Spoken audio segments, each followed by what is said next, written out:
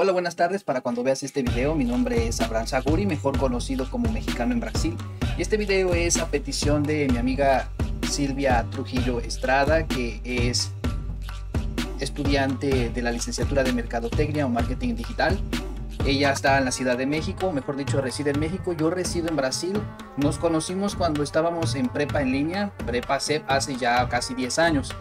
Entonces, eh, debido a mis experiencias con ciertos temas, con ciertas áreas y principalmente debido a mi experiencia residiendo aquí en Brasil desde hace ya más de cinco años, pues decidí ayudarla, acceder a ayudarla con esta su investigación de, en forma de tesina, respondiendo algunas preguntas al respecto de la pandemia y de su estudio del COVID, de mexicanos residiendo aquí en Brasil, cómo es que nos vimos afectados, de qué manera nos vimos, nos vimos afectados, de qué manera recibimos alguna ayuda, alguna asistencia, cómo nos fue en la pandemia y especialmente el tema que ella está manejando, que es el tema de afectación prolongada por COVID-19 en mexicanos residiendo fuera de México. Entonces, esta es una pregunta, o mejor dicho, ella escogió este tema, no sé por qué, e-, ella, ella escogió este tema y en la oportunidad pidió que le ayudara pues dando mi testimonio, ayudándole un poco yo estando aquí en Brasil porque la pandemia pues nos agarró bastante aquí en Brasil.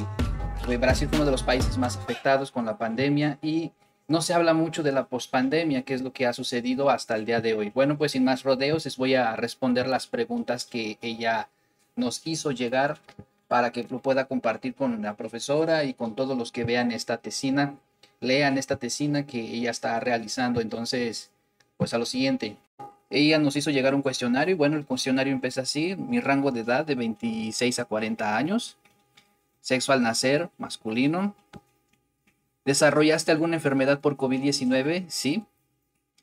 ¿De qué manera sigues afectado por la pandemia? Bueno, pues financieramente y físicamente, pero creo que lo que más me ha golpeado hasta ahorita ha sido físicamente.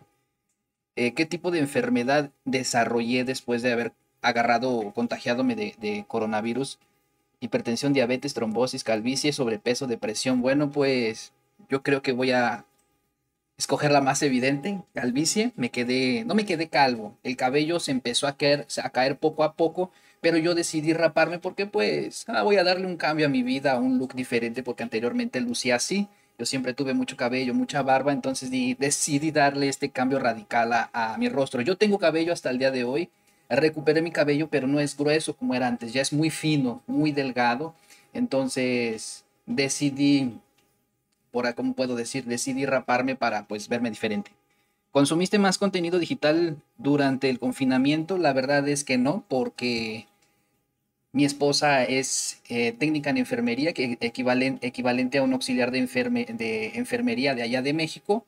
Entonces, cuando vino la pandemia, hubo un decreto nacional y estatal aquí donde yo resido, en el estado de Marañón, donde todos los profesionales de la salud tuvieron que ir a tuvieron que ir a, dar soporte a la población, a ayudar con todo lo que se necesitaba. Cuando la pandemia nació, cuando la pandemia vino, vamos a decir que vino juntamente con mi hijo, que fue cuando nació.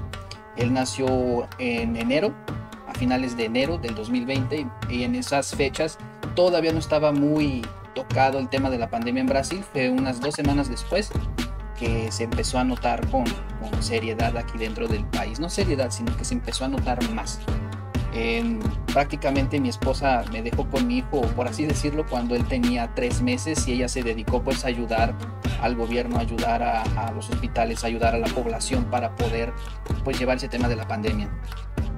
Entonces no, no consumí mucho contenido digital porque yo cuidaba a mi hijo el tiempo completo.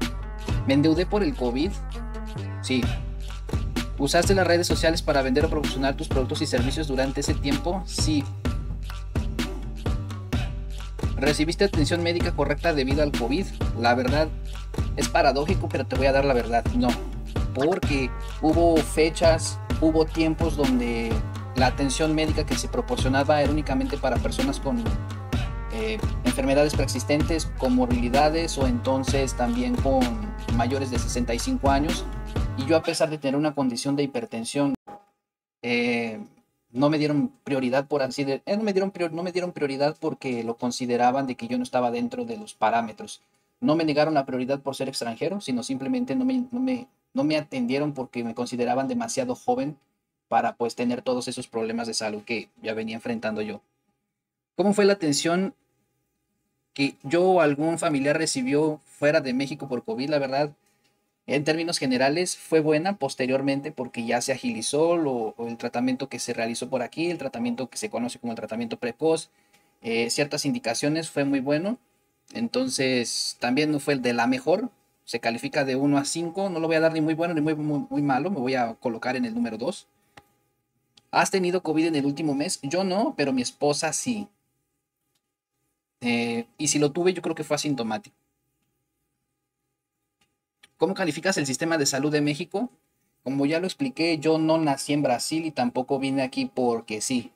Eh, yo viví la mayor parte de mi, mejor dicho, toda mi vida en México y me tuve que venir a Brasil por temas de salud eh, de mi esposa y de mi hijo. Mi hijo vino a nacer aquí en Brasil y mi esposa vivía conmigo en México. Entonces eh, nos vinimos a residir a Brasil por recomendación médica de allá de nuestro médico familiar de México.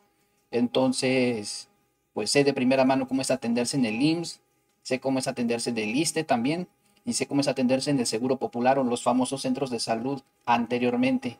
Eh, yo soy beneficiario del IMSS porque siempre trabajé en empresa privada. Alguna vez fui codependiente de alguien para ser atendido en el ISTE. Entonces, sé de primera mano cómo es. La verdad es que hay buenos lugares y pésimos lugares. En términos generales, no es ni muy buena ni muy mala. Vamos a dejar en tres. ¿Cómo calificas el sistema de salud en tu país comparado con el de México? Bueno, pues sí, es bastante bueno. De ese sí no me voy a quejar y va a ser muy bueno, porque aquí en este país eh, se otorgan alimentos, se otorga, acompaña, eh, sí, se otorga acompañamiento médico, se otorga acompañamiento psicológico y cuando tú estás acompañando a una persona que está internada, tú también tienes el soporte, cosa que en México, en el público, es imposible. ¿Buscaste ayuda profesional, por ejemplo, con alguien de psicología en algún momento? Sí. ¿Tienes problemas de insomnio, depresión, insomnio? ¿Perdiste algún ser querido por COVID? No. Y la última pregunta, la última pregunta, ¿has escuchado hablar del marketing digital? Sí. Esas son las preguntas que Silvia me hizo llegar. Y ahora les voy a contar de términos generales cómo es cómo se vivió la pandemia aquí en, en Brasil. Eh, cuando la pandemia sucedió, sucedió, yo estaba en el hospital saliendo de dar a luz, por así decir, a mi hijo y a las 3, 4 semanas ya empezábamos a ver las noticias de la pandemia, pero lo veíamos lejos. Eh, se empezaron a dar recomendaciones y se empezaron a adoptar ciertos protocolos aquí en Brasil, en el estado donde yo vivo, que curiosamente es uno de los estados más pobres y más alejados de todo lo que tiene que ver con Brasil. Es el estado de Maranhão, en la región del nordeste. Y ciertas cosas pues fueron ignoradas y otras cosas sí fueron bien implementadas. Se implementó el toque de queda cuando oficialmente comenzó la pandemia, cuando comenzó en São Paulo. Eh, se implementaron varios protocolos independientemente si eras extranjero o si eras brasileño o mexicano, como es el tema. Eh, y se otorgó un beneficio que se llama el auxilio emergencial de 1.200 reales. Para la época en 2020, 1.200 reales equivalía a, a 7.500 pesos aproximadamente y se otorgó tanto extranjeros cuanto brasileños que estaban inscritos en el programa. Obviamente, pues tenía que ser residente, por ejemplo, yo soy un residente, residente permanente, pero lo que voy es que no hubo segregación, no hubo eh, un, cierto tipo de discriminación, de discriminación, no hubo, no hubo nada de eso. Inclusive, pues a los refugiados venezolanos o de otros países, los haitianos, que aquí hay mucho venezolano y haitiano en Brasil, se les otorgó ese beneficio, se hizo el registro, se mapeó y se les ofreció el, el beneficio que iba a partir de los 600 hasta los 1200 reales. Los 1200 reales me los dieron porque pues eh, mi esposa trabajando en el área de la salud durante la pandemia y yo cuidando a mi hijo pues en casa. Esos 1200 equivalían a los 600 de mi hijo y 600 míos. Y el registro que se hizo, pues se hizo como mexicano, porque pues soy mexicano, simplemente soy residente permanente y legal aquí en el país. Y pues participé en ese programa, que fue el único de los países, yo creo que alrededor del mundo, que otorgó ese beneficio sin importar si era refugiado, si era mexicano, si era brasileño, todo el mundo tuvo acceso a ese beneficio.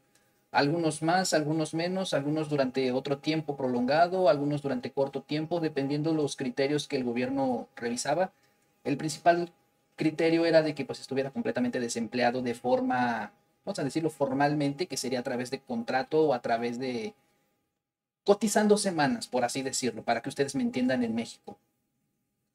La vacuna, cuando vino la vacuna fue muy rápido, fue muy eficiente. Sabemos que en las noticias hubo amarillismo y también hubo un descuido en la gestión que estaba en ese entonces aquí en Brasil y un poco de burla. Cuando la vacuna se implementó, eh, tardó un poquito, a diferencia de México, tardó un poquito en implementarse, pero cuando ya vino la segunda dosis fue bastante rápido y no hubo demasiado, demasiada demora en las filas. De hecho, la ciudad de San Luis, aquí en el estado de Maranhão, fue una de las primeras ciudades de, Brasil a, aplicar la vacuna eh, y la que se aplicaba la Coronavac y la Pfizer. A mí me tocó la Pfizer porque hoy debido a las comorbidades, debido, comorbidades no deben, debido a que soy hipertenso, fue la que me tocó a mí. Eh, fue bastante rápido. Con el paso del tiempo, pues empezamos a salir adelante, empezamos a reactivar la economía. Cuando mi hijo fue creciendo, pues yo me dediqué, yo me dediqué a hacer un poquito más de tareas, por así decirlo, de trabajo, trabajando, arreglando computadoras y un poco de diseño gráfico, que es lo que yo sé. No el tiempo completo porque, como repito, desde que comenzó el decreto mi esposa no ha dejado de trabajar. Ella es formada en enfermería y es profesional de la enfermería. Entonces vamos a decir que cuando llegamos a México, a, cuando llegamos a Brasil, venimos para que ella tuviera mi hijo, nace mi hijo, viene la pandemia, pasan tres meses y se va a trabajar y desde ahí hasta el día de hoy no ha parado de trabajar, gracias a Dios. Entonces todo el tiempo ha sido yo con mi hijo yo me contagié de COVID alrededor de unas cuatro veces. En una de ellas yo casi me muero, que fue la primera. Me contagié de COVID la primera vez por una persona mayor de edad aquí en Brasil. Yo había ido al supermercado con todos los equipos, todo cubierto, pero ese señor era muy alto. Yo soy alto, ese señor, yo mido un 88. Ese señor yo creo que medía los dos metros, una persona ya grande y se quitó su cubrebocas para estornudar y estornudó enfrente de la caja en el supermercado. Yo estaba de lado, estaba enfrente de él pasando mi, compra, mi despensa. Y yo creo que las gotículas, las gotitas me cayeron a mí, pues me contagié. Así fue la primera vez. La segunda vez yo me contagié porque pues mi esposa trabajaba en el hospital y ella llevó pues el virus a la casa. Eh, por increíble que parezca, mi hijo la única, vez la única vez que se contagió no se enfermó tanto como yo. Después de que yo me contagié, tuve muchas infecciones, desarrollé muchas infecciones de todo tipo, infección por tomar agua, infección de riñones, infección de todo tipo, y yo nunca fui una, yo nunca fui una persona eh, enferma, nunca me enfermé de nada, siempre fui una persona completamente saludable. Eh, entonces, pues es lo que sucedió. No tengo más palabras para decir lo que sucedió después de los contagios. El último contagio fue el año pasado, en el 2022.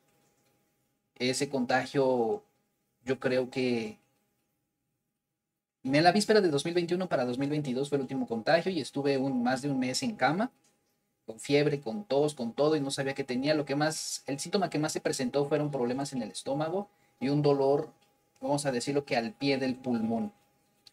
Eh, se me quitó con un antibiótico que me colocaron aquí en Brasil. No voy a decir el nombre por cuestiones, obviamente, de salud, de seguridad. Es un antibiótico que se fabrica únicamente en Brasil y para Brasil. Fue la única vez que me lo aplicaron y desde esa vez nunca más eh, me vi afectado por el COVID como hasta el día de hoy.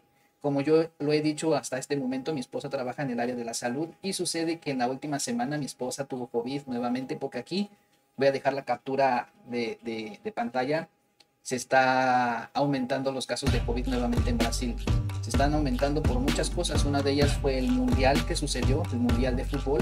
Y la otra ha sido porque se están llevando a cabo, mejor dicho, el año pasado se llevaron a cabo las elecciones. Eh,